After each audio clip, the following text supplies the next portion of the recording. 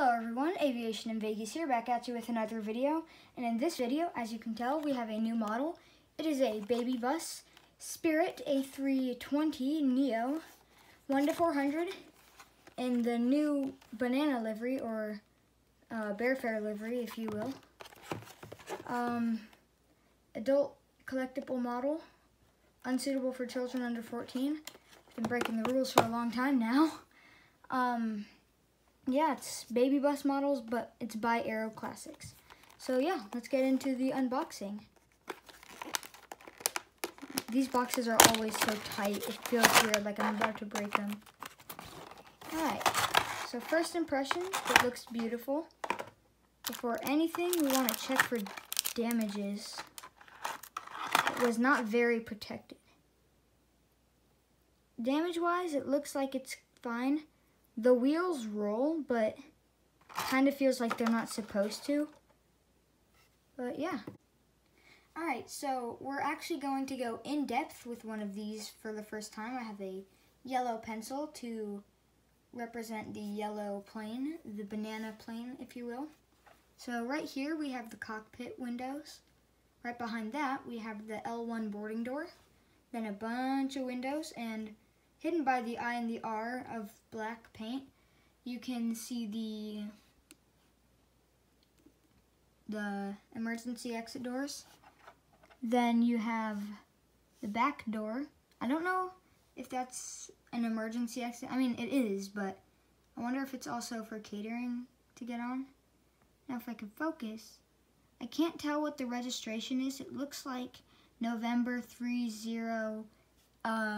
November kilo, but it might not be that. That's just what I can see. Now here we have the engines. It is a Neo engine.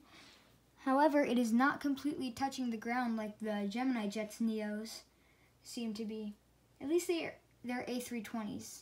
Their A321s are actually okay. Right back here we have the tail, the tail fin and the horizontal and vertical stabilizers, sorry you have the American flag because it is an American carrier. Sorry this angle is crooked. The tripod is currently holding my phone, which it's not the easiest thing to work with, but yeah.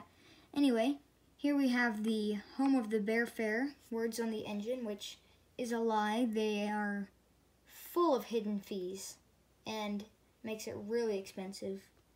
On the winglet there it says spirit.com and yeah, that's about it, other than the wheels.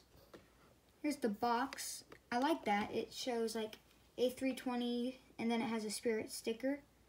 My um, A320 with Frontier does not have that, but that being said, I bought it used, so they may have just taken it off. I hope you guys did enjoy this very short unboxing. If you did, make sure to like and subscribe and share this with all your aviation buddies. And yeah. Also, check the description, Discord link in the description. Also, if you want to email me about aviation or YouTube stuff, that'll be in the description as well. And yeah, I'm also going to announce the quarantine challenge winners of the previous one and the next challenge in this video. So, well, there are no winners because again, no one submitted anything. But yeah, the next one is with that chalk or on paper, draw a design for an airport.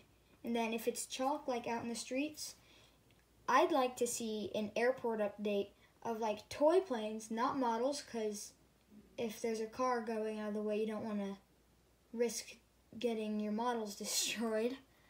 Um, but yeah, extra points for an airport update. It doesn't have to be big. Doesn't have to be elaborate, doesn't have to be realistic, just has to be cool. Anyway, hope you guys did enjoy this video. As I said, make sure to like, subscribe, share, comment, etc., etc., and I will see you in the next video. Bye.